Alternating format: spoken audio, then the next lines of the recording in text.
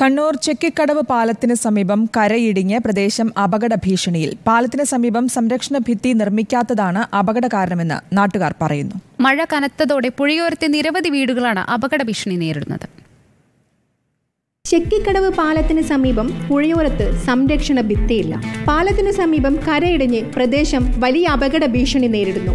പാലത്തിന് തൊട്ടടുത്ത് സ്ഥിതി ചെയ്യുന്ന ഷാജിമോന്റെ വീടിന് മുന്നിലാണ് കരയിടിഞ്ഞത്. അപകട സമയം വീട്ടിൽ ആളില്ലാത്തതിനാൽ വലിയ ദുരന്തമാണ് ഒഴിവായത്. അഞ്ചാം തീയതി കാലത്ത് ഒരു ശേഷമായിരുന്നു.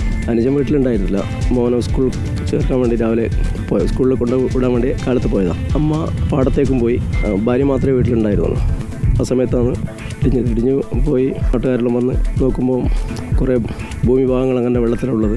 ആളപായമൊന്നുമില്ലാതെ ആൾക്കാരെല്ലാം കൂടെ എല്ലാവരെയും മാറ്റി വീട്ടിലുള്ള സാധനങ്ങളെല്ലാം മാറ്റി. വർഷകാലമായാൽ പിന്നെ ഏകദേശം ഒരു എട്ട് ഓളം വെള്ളം എട്ട് പത്ത് മീറ്ററോളം വെള്ളം പൊങ്ങി വരുന്നുണ്ട്. അങ്ങനെ വെള്ളം പൊന്തി പൊങ്ങി വരുന്ന സമയത്ത് ഈ പാലത്തിന്റെ തൂണിന് തട്ടിയിട്ട് ശരിക്കും ഒരു അശാസ്ത്രീയമായി നിർമ്മിച്ച പാലത്തിന്റെ ബെല്ല് പോലെയാണ് നമ്മൾക്ക് ഒറ്റ നോട്ടത്തിൽ കാണുന്നത്. പിന്നെ പാലത്തിന്റെ ആൾക്കാർ ആരും ഇതുവരെ ഈ സ്ഥലം സന്ദർശിക്കുകയോ ഒന്നും ചെയ്തിട്ടുമില്ല.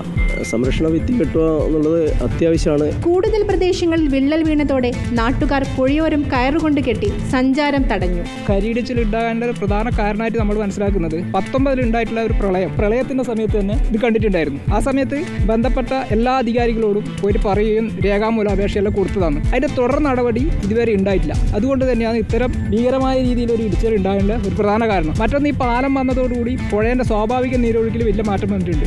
രണ്ടായിരത്തി പതിനാറിൽ പാലം പണി പൂർത്തിയായെങ്കിലും ഒരു സംരക്ഷണ ഭിത്തി നിർമ്മിക്കാൻ അധികൃതർ തയ്യാറായിരുന്നില്ല. എന്നാൽ ഇപ്പോൾ ഈ അപകടാവസ്ഥയിൽ പ്രദേശത്തെയും പാലത്തെയും സംരക്ഷിക്കാൻ ഒരു സംരക്ഷണ ഭിത്തി എത്രയും പെട്ടെന്ന് നിർമ്മിക്കണമെന്നാണ് നാട്ടുകാരും ആവശ്യപ്പെടുന്നത്. Video journalist Limesh ചെറുഭാഷിക്കൊപ്പം reporter Thushara Pramod. In reporter Kannur.